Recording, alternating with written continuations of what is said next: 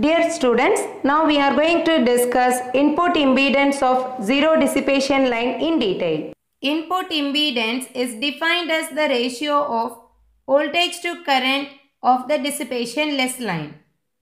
It is represented as Zs that is equal to V by I.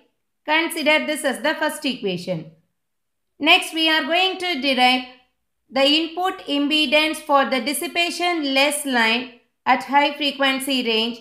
For that we can consider the general equations for voltage and current on the dissipation less line. Dissipation less line is also known as zero dissipation line. Okay. We have already derived these two equations in the previous lecture video. So we can use those equations directly in this topic. So here the general equation for voltage V is equal to VR cos beta x plus j IR R naught sin beta x. I is equal to IR cos beta x plus j VR by R naught sin beta x. So we have already derived this. Okay. So now we are going to substitute these two equations in this first equation to get the input impedance for the dissipation less line. Here Zs is equal to V by I. We can substitute V value as VR cos beta x plus J IR R naught sin beta x. I is equal to IR cos beta x plus J VR by R naught sin beta x. Okay. So for further simplification, we can consider this VR is equal to IR into ZR. Okay. So we can replace VR in this V and I equations as IR into ZR. So here VR is replaced with IR into ZR. In the denominator, this VR is replaced with IR into ZR. Okay. So now IR is common in the numerator as well as in the denominator.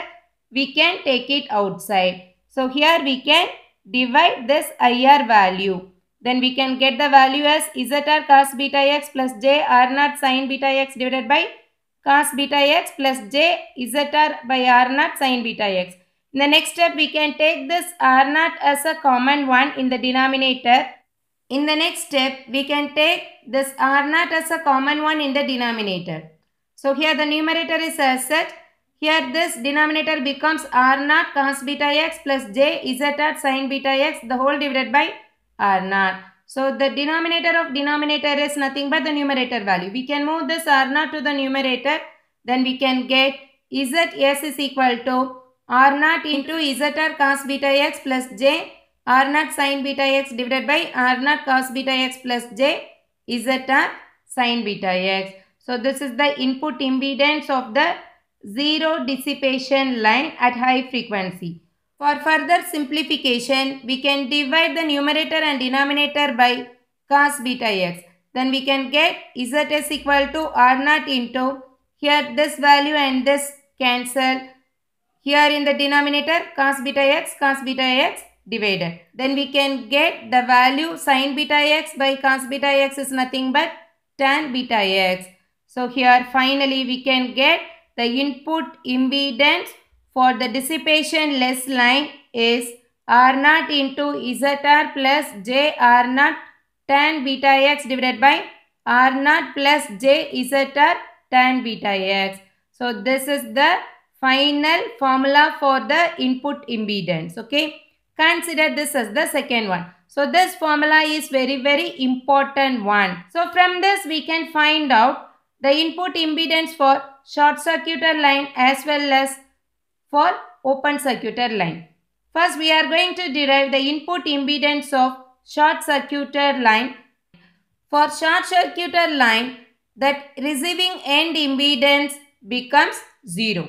If it is short circuited means there is no impedance, the current is maximum, voltage is minimum. Do you all understand? You have to remember that for short circuited receiving end, the receiving end impedance becomes 0, current is maximum, voltage is minimum. Okay, so in that case, we can find out the input impedance of the short circuited line by substituting the ZR value as 0 in the second equation. Then we can get the input impedance for the short circuited line Zs is equal to R naught into 0 plus J R naught tan beta x divided by R naught plus 0. Here ZR becomes what? 0. Correct? Then we can get the values J R naught tan beta x divided by R naught. So R naught R naught can be divided. Finally we can get ZS is equal to J into R naught tan beta x. It is purely imaginary value. So imaginary value represents only the reactance. For short circuited line, the input impedance is purely reactance. Reactance means it can be either inductive reactance or capacitive reactance. So based on the wavelength, it can act as either inductive or capacitive reactance. So here it is based on the wavelength. Okay. So for the first quarter wavelength, the input impedance can act as an inductive reactance. For the next quarter wavelength, it can be a capacitive reactance. For the next one, it can be a inductive. So there is an alternate values of capacitive and inductive reactances based on quarter wavelength. You all understand. So next we are going to derive the input impedance of open circuited line. For open circuited line, the receiving end impedance becomes infinite. Okay, so if it is open circuited means the receiving end impedance becomes infinite. Here the voltage is maximum, current is minimum. Okay. The input impedance of open circuited line can be obtained by substituting ZR value as infinite in the second equation. So we cannot substitute this ZR as infinite in that equation directly. If we are going to substitute this ZR value as infinite here, the whole term becomes infinite. Okay, so for that we can simplify the term further like this. So ZOC is equal to R naught into, we can take this ZR outside because 1 by ZR means we can substitute this infinite value here. We can get the answer as 0. So for that we can make this ZR as a 1 by or anything by ZR. So here we can take ZR as a common one in the numerator and denominator. Then the term becomes 1 plus j r naught by zr into tan beta x divided by here the denominator is zr into r naught by zr plus j tan beta x. Next we can substitute this zr value as infinite in this equation.